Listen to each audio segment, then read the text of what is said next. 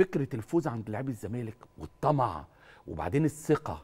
مم. كل ده اتكون لكن الأهلي بصراحة بأداء ال ال التيشيرت الأهلي.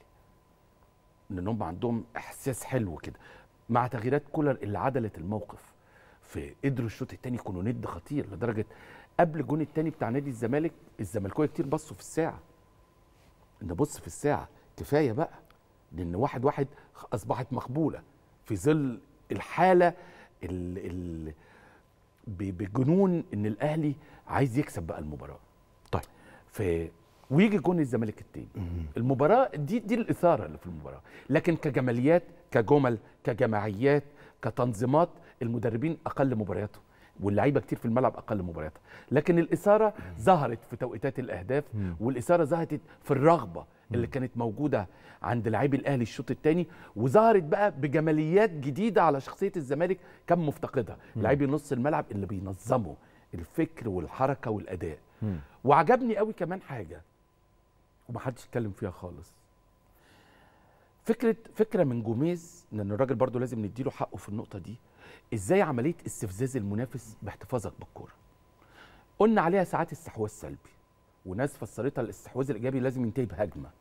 لكن أحيانا لما الخصم اللي قدامك يكون مشدود وعايز يكسبك. وعنده شيء من ال- ال- الرغبة العنيفة فأنت بتفقدها له إزاي؟ باحتفاظك بالكورة. طبعا. وده جزء من الذكاء اللي حصل في الملعب. وده مخ عبد الله السعيد اللي يقدر ينفذ الكلام ده. فتم عملية استفزاز لاعبي الاهلي ان هم ما بيلمسوش الكوره حصلت مرتين ثلاثة في الماتش. استحواذ متكامل. بتعد 20 و30 نقلة واللعيبة بتظهر لبعض مش بشكل هجومي لكن بشكل الاحتفاظ بالكورة. ودي طريقة مختلفة لعيبه الكورة. إزاي بتستحوذ واللعيبة بتعرف تتصنع أماكن ومساحات يتحركوا فيها غير لعيبة. بت بت بتاخد الكره وبيقربوا لبعض علشان الاستفزاز النفسي اللي حصل للعيبة الأهلي إن هم مش قادرين يطولوا الكورة. دي لقطات حلوة الجوميز بنعتبرها الجوميز. ما انت بتقعد تدور على المدربين جوه اللعب. أيوه. ولما تدور على المدربين جوه اللعب بتشوف حقيقة الأداء. آه. كولر خلينا نتفق إن هو مدير فني على درجة عنيد. وعنده مرتبط باللي جابه باللي حصده ببطولاته بالكلام فبيخليه يعاند. مم. أنا الكبير هنا مم. أنا اللي أقول. في عاند بلعيب زي مودست.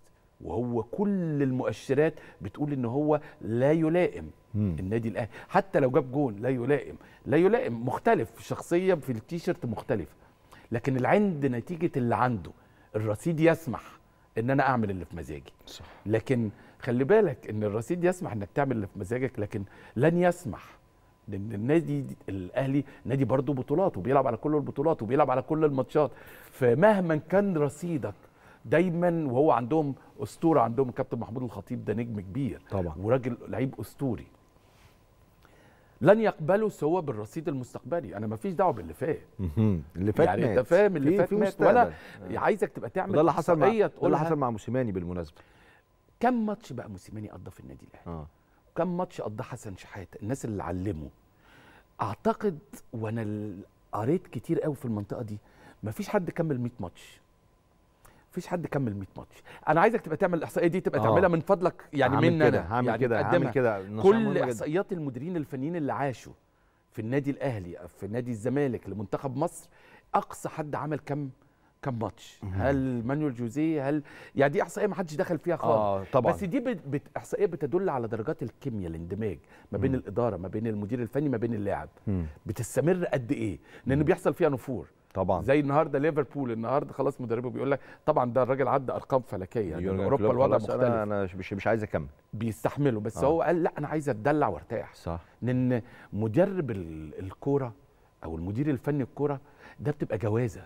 بيج... الكورة هي حياته طبعا مش بيته صح فاحيانا كلوب بعد أربع سنين ولا خمس سنين ولا آه. آه. ست سنين بيحن لبيته آه، أنت اللي هو فاهم عايز ارتاح شوية عايز أشوف بيتي خد بالك يعني. زين الدين زيدان مثلا بقاله سنتين ثلاثة هو ما بيدربش ما بيدرب. هو آه. قرر- أنا هرتاح شوية بس he's a happy man آه. هو راجل سعيد بالظبط فقال لك. أنا مستمتع بإن أنا عايش في الأسرة لعيب صح. مدير فني ما كنتش عايش في أسرة لكن صح بستمتع بده